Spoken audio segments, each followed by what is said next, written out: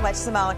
It's 918. Let's talk about your first alert forecast and what's next. For a lot of folks, it's cleanup.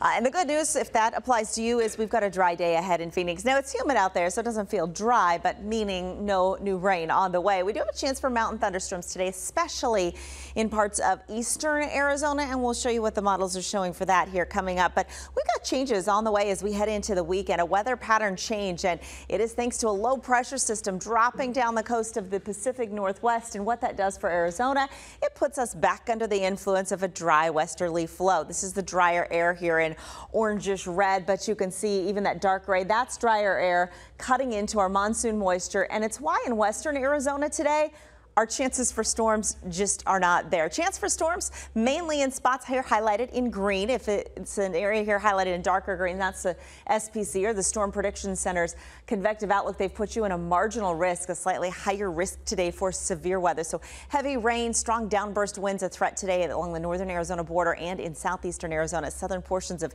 Gila County included in that as well. It's quiet right now. Our radar showing just some storms in the far southeast corner of the state going forward in time.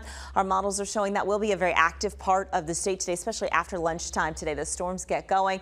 They start, they move almost to the north and northeast. So for the Valley Metro area, we're going to watch for these storms that develop in this area, but I don't think there's a huge chance of any of that coming close enough to the valley to bring us rain. What we could get are some gusty outflow winds or maybe some blowing dust.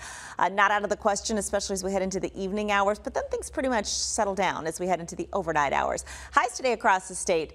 Uh, down just a little bit from yesterday. 106 in Bullhead City and Lake Havasu, 107 for Yuma and Gila Bend, 75 for Flagstaff and 85 for Payson and 93 for Globe, 104 today for Casa Grande and 108 for the Valley. We're pushing into the 90s right now, 91 degrees with a 65 degree dew point, so it's still feeling sticky out there thanks to all that moisture left from yesterday's rain.